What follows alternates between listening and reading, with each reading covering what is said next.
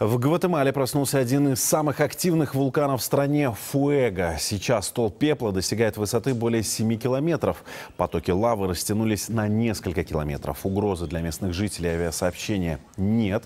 Правда, на всякий случай самолеты все же облетают огненную гору. В прошлом году Фуэго извергался несколько раз. Из опасных районов приходилось эвакуировать жителей, а несколько десятков поселков засыпало пеплом.